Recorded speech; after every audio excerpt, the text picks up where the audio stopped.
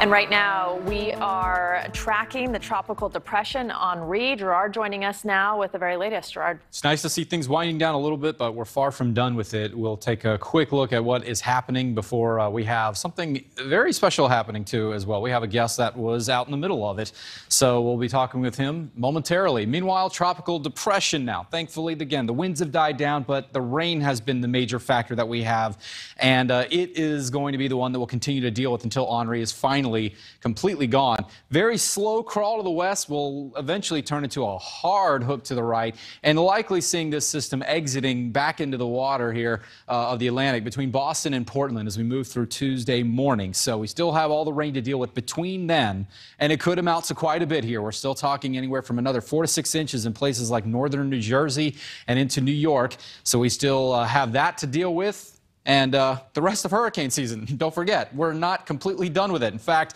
we've only seen uh, up to Henri, as you see, and we've had two hurricanes, excuse me, three hurricanes, but we still have the rest of the season to go. We're not even quite to the halfway mark with our hurricane season activity. All right, so as we mentioned again, we are uh, joined here by a guest tonight. We have Mark Sudduth, a hurricane researcher who spent the weekend tracking Henri, something that uh, every meteorologist would practically enjoy doing just from a scientific standpoint. But thank you for joining us tonight.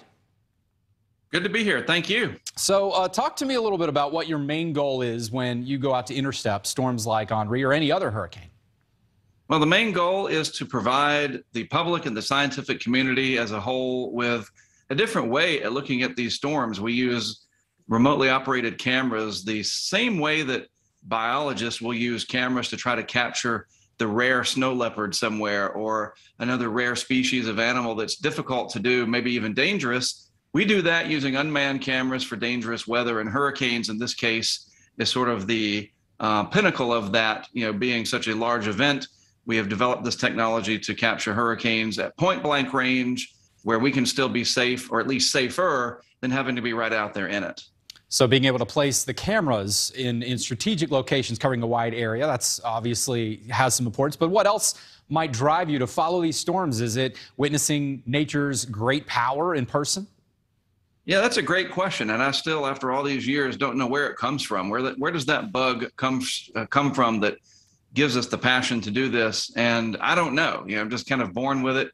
But also this drive to collect data. You know, the video itself is data. We call that photogrammetry, and it is technically used as data. It's interesting to see. It's helpful for the public, for the media, but it is also data. We share it with the National Hurricane Center. We use it for education, but we also have instrumentation anemometers that measure wind speed, barometric pressure sensors for the air pressure, and we place these out as well. So it's not just the visuals. We do try to capture the meteorological data as well. And there's just something about it that drives me literally to drive many, many, many hours to get all of this done, get the equipment in place, and hope that everything runs properly.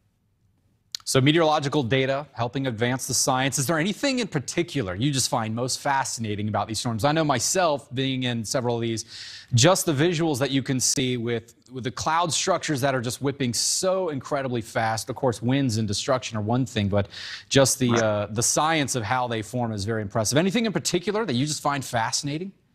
I think it's the entire process that we track these when they are still pieces of energy over Africa. And they'll come across, we give them names so they almost become personified.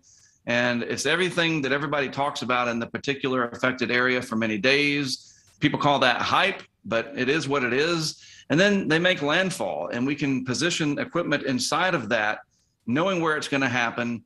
It's, I look at it as an opportunity to learn that nature gives us this gift of and science and technology with computing power and computer models that we know, generally speaking, where these are going to end up. And I think it's just the whole ball of wax, if you will, that drives me. All right. Thank you, Mark Sudduth. Very interesting considering that. Uh, the the uh, time that we've had with hurricanes like this, we have not seen them across uh, parts of New England for the last 30 years. Sandy being a little bit of a different animal, but tonight we're getting a new look at that. Thanks so much for joining us tonight. A pleasure. Thank you.